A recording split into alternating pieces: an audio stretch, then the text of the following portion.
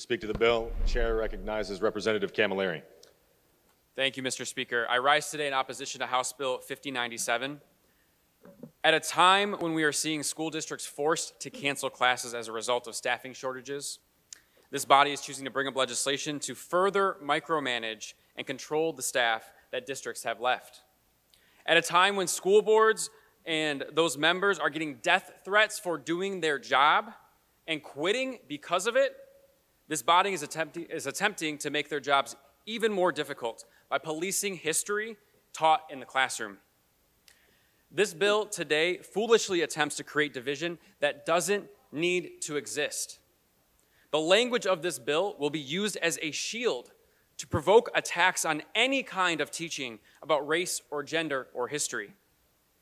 The history of the United States of America and the state of Michigan is woven together with different racial, ethnic, gendered, and religious threads.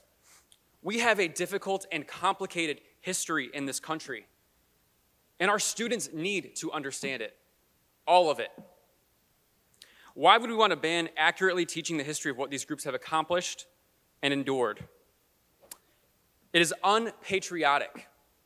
It is unpatriotic to want to silence the stories and the experiences of people in this country that make up the American story.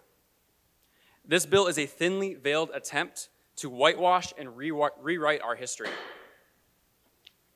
Representative, please do not impugn the motives of your colleagues and speak to the merits of the bill. Chair recognizes Representative Camilleri. Silencing me just like silencing the students in our classrooms. I appreciate it, Mr. Speaker.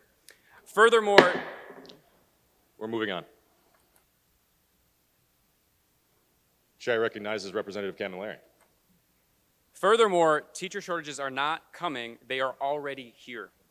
School board elections are not going to get ugly, they already are.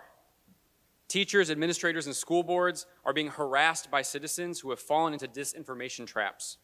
If this legislation were to become law, it will not only embolden these factions to continue their efforts to berate our local elected officials, but it's going to take these fights straight into the classroom.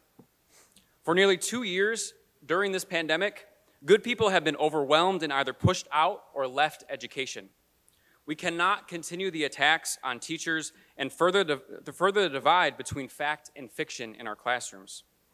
If this legislation were to pass, who in their right mind would choose to be an educator and be policed by not only local school boards, but uh, elected officials here in Lansing on what their daily lessons will look like? That does not seem like a great workplace environment for our educators. I urge you to stand up for students, for teachers, for administrators, and school boards and join me in voting no on this bill because our students deserve better. Thank you.